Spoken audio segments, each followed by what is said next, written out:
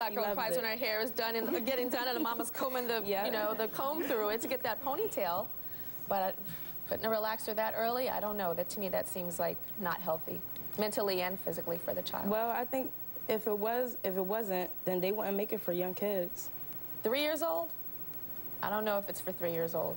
Uh, we'll be right back.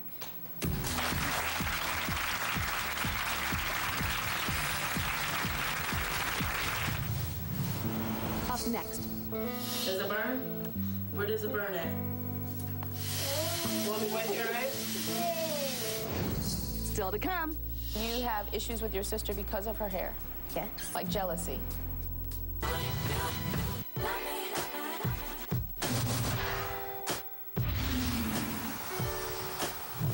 You know, good hair is something that comes up every day. We named our salon Happy to be Nappy because we want our clients to love their natural hair. Whether their hair is straight, wavy, or even curly is solely up to you. What bugs me is when parents come in and say, My daughter's hair is ugly, nappy, they don't know what to do with it, and hopefully we can figure it out. No little girl should feel that their hair is bad. Moms today who are opening up, about the pressure to conform to the idea of good hair in the African American community. And again, that's hair that a lot of black women say is, is not an afro, hair that is smooth, hair that is straight, like a Caucasian woman, like a, like a Indian woman, like an Asian woman. Um, and it's a pressure that even their preschool daughters feel. Now, before the break, Michelle admitted that she relaxes her three-year-old daughter, Rainisha's hair, three years old, and she puts chemical straightener on her daughter's hair. Uh, we have some video of this. Check it out. Hi, Tyra. This is my daughter, Ronasia. She's three years old, and I've been perming her hair for about four months now. As you can see, Tyra, all this on the edges, that's what we call kitchens. And those are what we're gonna fix with the perm. Before I started putting perm in her hair, she would not let me comb it. See that? Ow! That's why. You like getting your hair perm, Ronasia? Yeah. Why? You want to like the girls on the box? Hmm? As Michelle adds the chemicals to Renisha's hair, her discomfort is quite apparent. Ow! I know. Ow! This is why she gets the perm. Ow! Ow! Thank God for perms. Ow! Does it burn? Where does it burn at? All right, we're ready to wash. My eyes! Just keep your eyes closed. Want me to wipe your eyes? Although the process was difficult for both, mother and daughter are pleased with the end results. You like it? Why? Get you? It looks cute. Yes. Woo, that was like a ton of like, oh my God, emotions and pain and then smiles. And even when she was smiling, it was hurting me. When your daughter is saying, Mommy, it burns, it burns, because she has chemicals on her hair and she's three years old, what does that make you feel like? It makes me feel bad, so that's why I choose not to leave it in her hair for that long.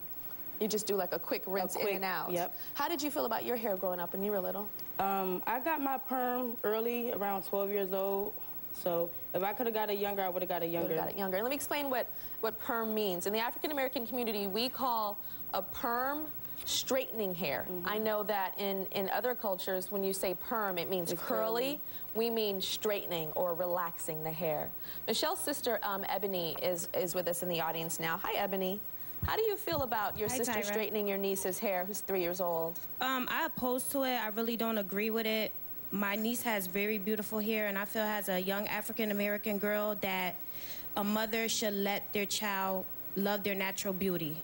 I had my hair young, um, permed at a young age, and I didn't agree with it. That's why my hair was so messed up. It messes up their hair, and I think natural beauty is beautiful. And when your sister says that to you, I'm sure she says it to her you to not mind to. her business. You tell her to mind her business. well, with us are the authors of Hair Story, Untangling the Roots of Black Hair in America, Ayana Byrd and Lori Tharps. Explain to us uh, about our hair, black women's hair, and why it is such such this this issue for us. I think the first thing people need to understand is the idea that good hair, these, this term good hair, was not a beauty term, it was a survival term that came out of slavery. And that um, women and men who who had hair that was silkier, curlier, looser, meaning they were connected to the white man, the master, that meant that they were more likely to have a, um, a, a higher chance of being freed when the master died, perhaps being a slave that was in the house, which meant more access to education, better food, clothing, warmth, you know, the necessities of life. So we were not talking about slaves walking around saying, I'm cute. It was slaves walking around saying, if I have this hair, I might have a chance at a better chance of life and survival. Because what is it really? It's connected to being the master's daughter or exactly, son. exactly. So, and it's like I said, it was men and women. We're not even just talking about something for women. And so this idea has carried over. Um, we, we say that you know these concepts were kind of embedded into our cultural psyche, and it never went away. We were never like unbrainwashed, if you will, once slavery was removed, and we've maintained these terms. And so part of the problem is that um, people don't understand the history of our hair, and that's why we wrote the book so that people understood where the pain comes from with these um, with the way our hair looks and what it meant to us in terms of survival We have the, the, the, the daughters of all of these women on our stage. I want to talk to these kids. Come on out, kitties.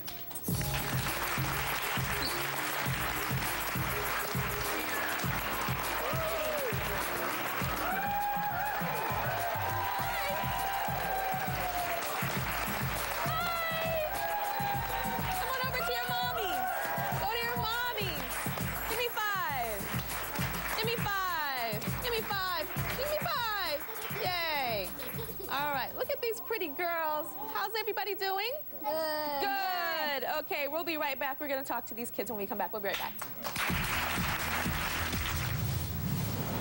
Up next.